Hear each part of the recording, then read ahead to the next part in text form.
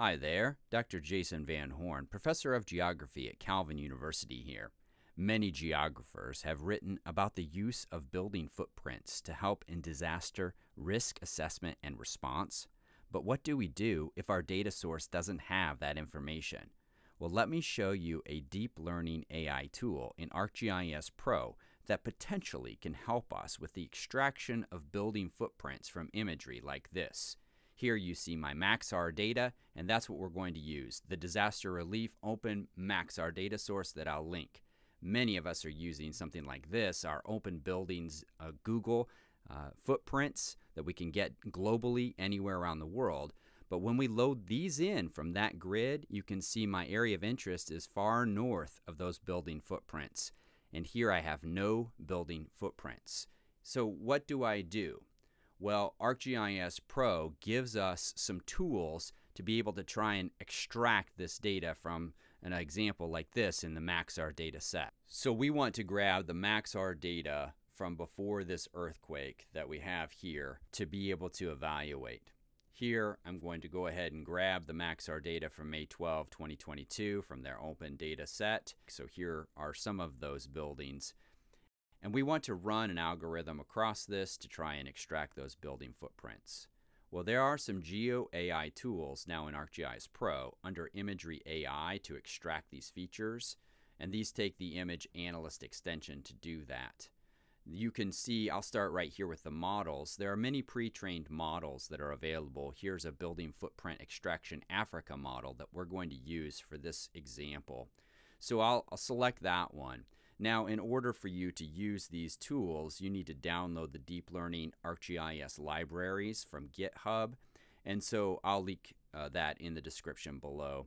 Uh, but you need to find your operating system and then click and install these. So now let's go ahead and put our raster in here. And then what we're going to do is name the output prefix. I'll choose uh, Morocco as my output prefix so that the feature class that's created in the geodatabase of this project will export to that in the contents pane once this processes. So we'll hit run and let this thing run. Uh, it does take a bit of time to run these across the entire image. So here we have the output automatically put into the contents pane. Now what we should do is just see how well this performed. To do that, let's right click here and open up the attribute table uh, for this layer. So as this is loading, we should see a lot of building footprints because there were a lot of buildings, but as we see, there are only seven. Uh, so it did not perform as well as we would hope in this example. So here I'll zoom into the first one. You can see it captured that building footprint, but not any of these other buildings that are definitely buildings uh, in this landscape.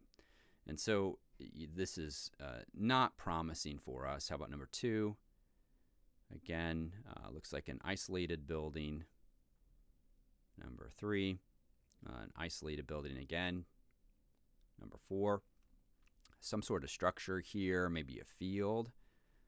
Uh, number five, not sure if that's a structure. What is that? Number six, this has a building and some other buildings around it, it looks like. And number seven. And definitely a building uh, and several buildings that were not uh, extracted uh, with this particular algorithm. So let's adjust some of these parameters uh, here within the extract features using the AI models tool uh, for ArcGIS Pro. Uh, we can do that simply by adjusting uh, the different parameters. We're going to isolate first this area of interest by clicking on the polygon for area of interest. We're going to draw the polygon and then we're going to test in a smaller area just for this example.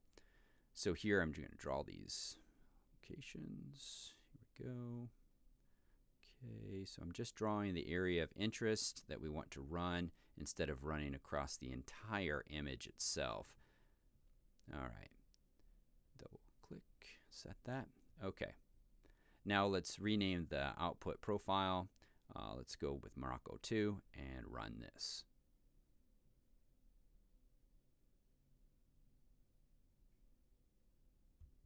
Okay, now we can see that the output should be reported into the table of contents here on the left. And there we go. Now, how well did this particular uh, uh, smaller algorithm perform since it didn't run across the entire image? So we'll open up the attribute table uh, for this layer and take a look. And we'll turn that off and open the attribute table. Okay, so it looks like we have no features. So this did not work well with uh, the current parameters. So let's adjust those here under the polygon regularization options. I'm going to change right angles to right angles and diagonals and see how that does in this next iteration. Okay, so I've changed that. I need to change the output profile. I'll turn that off first. And here we go. So we'll update this to Morocco 3. And now close this and we will run this. All right.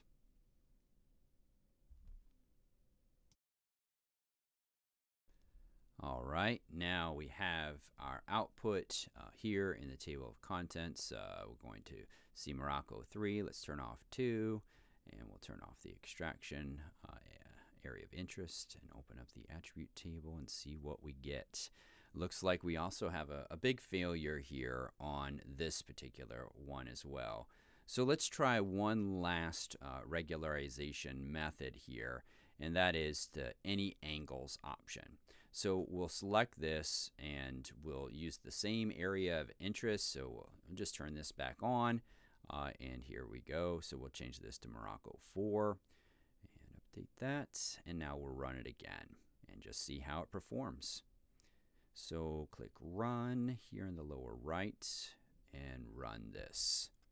All right. So uh, here we have the output of number four.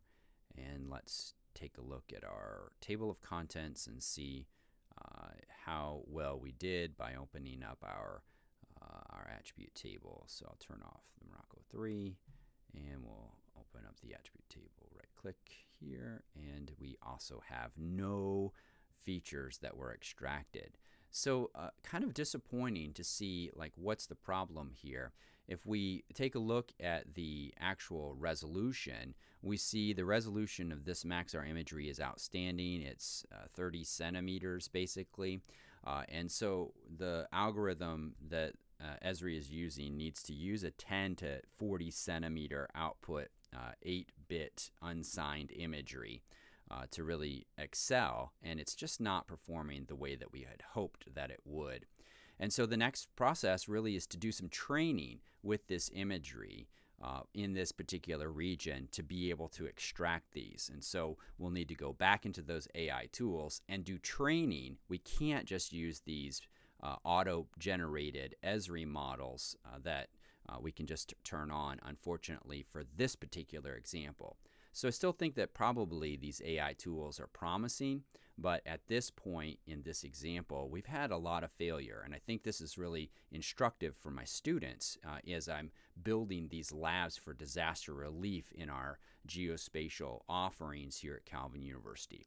Hope you found this uh, video to be helpful to you as you're thinking about what geo uh, AI tools you might want to use and how uh, this process uh, unfolds within the ArcGIS framework. So thanks.